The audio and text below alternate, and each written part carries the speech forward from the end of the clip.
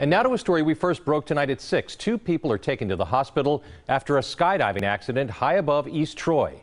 Corrine Zell is live at the East Troy Municipal Airport with the latest. Corrine. George, the Skydive Milwaukee planes take off from the airport, but divers typically land about a half mile from here. The jumpers involved in today's accident ended up back here at the airport. Chopper 4 shows the chaos following a recreational skydive that goes terribly wrong in East Troy. This accident apparently happened under canopy as they were uh, descending. This means the divers' parachutes were open.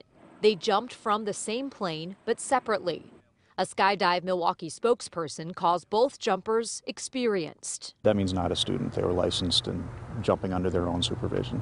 The divers were aiming for Skydive Milwaukee's property, which is adjacent to the airport, but crashed near the trees at East Troy Municipal Airport. I'm concerned and, and hoping for the best for our two jumpers. Skydive Milwaukee reports that early reports indicate those divers are suffering from non-life threatening injuries. We're also hearing reports that what happened is the two parachutes got tangled in the air.